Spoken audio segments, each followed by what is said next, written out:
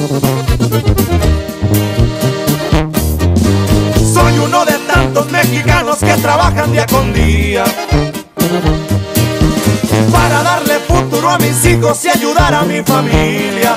Como extraño mi rancho querido, mis amigos que no los olvido y a mis viejos que hace varios años que no los he visto.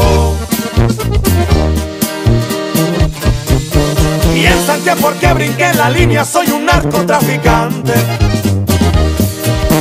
Ya basta de mil humillaciones, no más por ser inmigrante. Estoy cantando por toda mi gente. No lo olviden, tenganlo presente. Que aquellos a los que no querían, hoy los hacen presidentes. Y aunque les duela mucho, somos mayoría puro.